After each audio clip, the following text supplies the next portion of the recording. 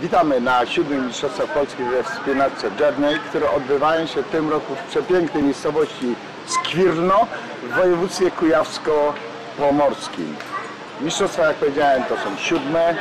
Odbywają się na terenie zabytkowego parku w pięknym drzewostanie. Zawodnicy mają do, w, drodze eliminacji do, y, do przeprowadzenia pięciu konkurencji eliminacyjnych oraz finałowej konkurencji mistrzowskiej.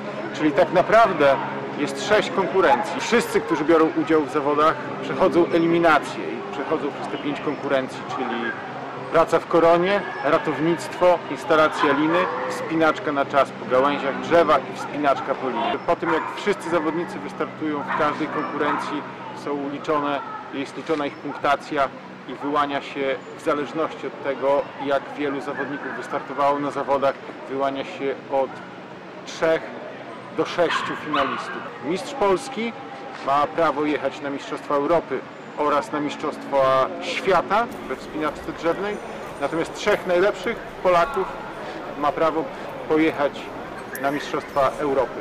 W tym roku Mistrzostwa Europy będą w parku w okolicy Paryża, natomiast Mistrzostwa Świata w zasadzie zawsze odbywają się w Stanach Zjednoczonych, w tym roku w Ohio.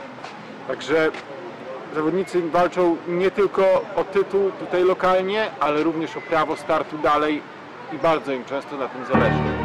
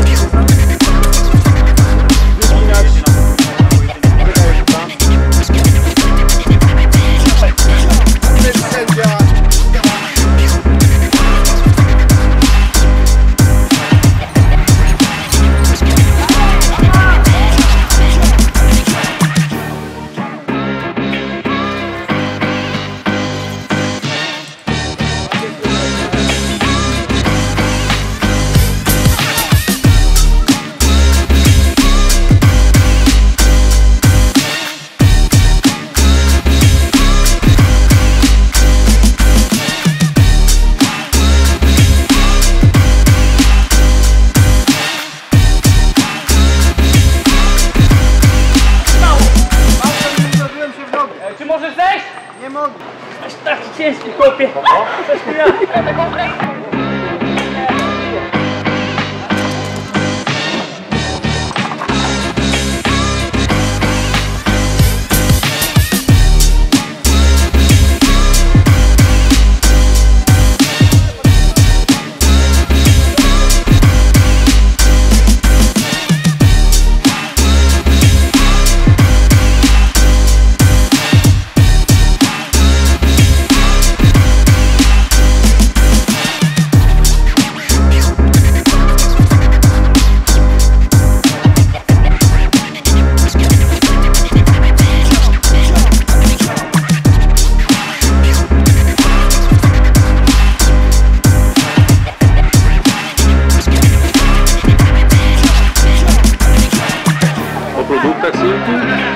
咱们没有商量的余地。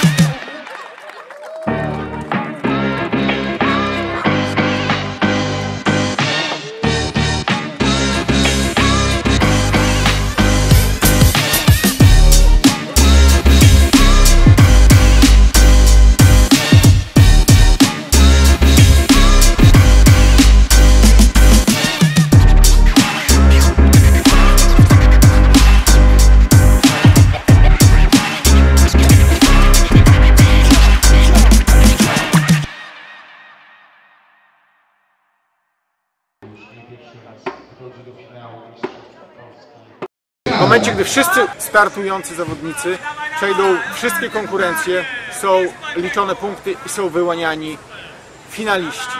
Tak jak wspomniałem, jest ich pięciu i oni przechodzą do konkurencji mistrzowskiej na drugi dzień. Ta konkurencja łączy wszystkie umiejętności. Zawodnik pojawia się przy drzewie z torbą, który ma swój sprzęt i ma za zadanie zainstalować linę, wejść w koronę, dotrzeć do wyznaczonych w koronie trzech lub czterech stacji, wylądować, ściągnąć sprzęt z drzewa i wtedy kończy się pomiar czasu.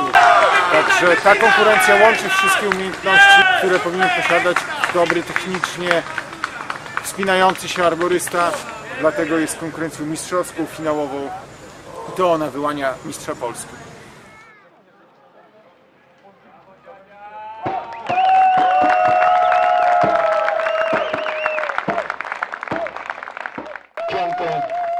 Damian Gacek, czwarte Lajko Pendegus, trzecie Marcin Anczakowski, drugie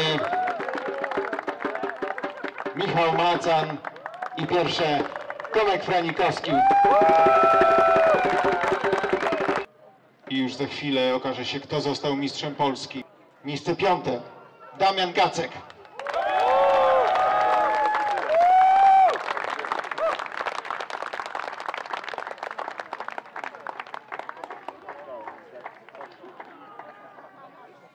Czwarte miejsce na Mastersie zajął Lajko Bendegus.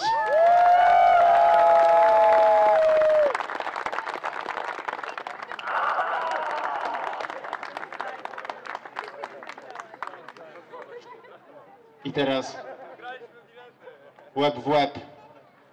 Ale jednak król jest tylko jeden, więc na miejscu trzecim Michał Macan.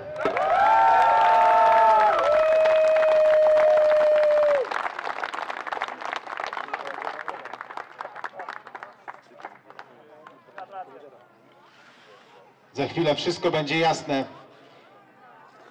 Na drugim miejscu Tomek Franikowski.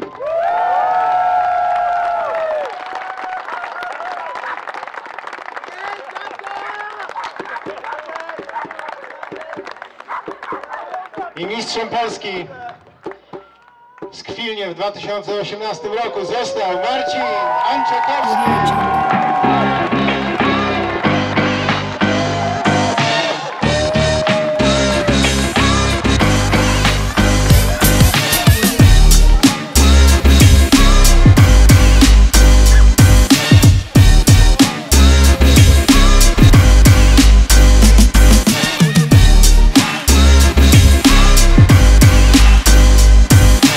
Zapraszamy także na następne mistrzostwa, które nie wiadomo gdzie się odbędą, ale na pewno będzie sportowa atmosfera.